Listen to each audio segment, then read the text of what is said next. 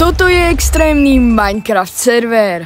Tento server sa volá Hexasteam, no a nedávno som sa na ňo aj pripojil.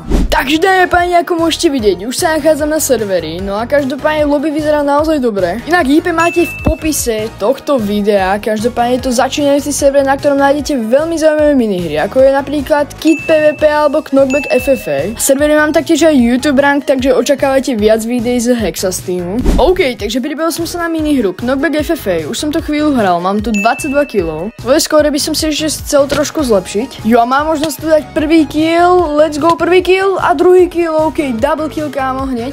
Oh, tu sa na mňa portuje nejaký typek, toho musím dať hneď dole, kámo ďalší typek, tu, tu je ich milión, ok, ďalší double kill.